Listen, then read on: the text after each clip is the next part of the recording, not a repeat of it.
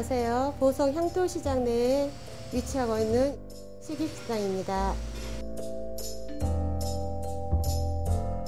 어, 제가 매일 시장에서부터 시작이 됐는데요. 매일시장이 정육점을 하고 있다가 군에서 이제 5일시장 새로 증축을 해서 공모전 모집이 있어서 그 공모전 응모를 했다가 저희 이제 아이디어가 채택이 돼서 저희가 하게 됐어요.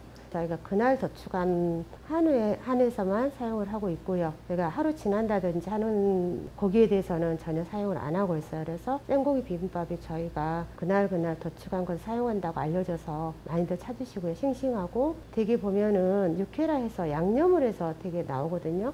근데 저희는 그렇지 않고 생 그대로 따로 그 접시에 담아서 드리고 있어요. 식유식당이잖아요. 그러다 보니까 보성이 특화된 녹돈 그리고 한우 이걸 주제로 해서 생고기 비빔밥이라든지 녹돈 주물럭이라든지 뭐 도가니탕, 어, 갈비탕, 돌판 비빔밥, 한우 국밥도 있고요.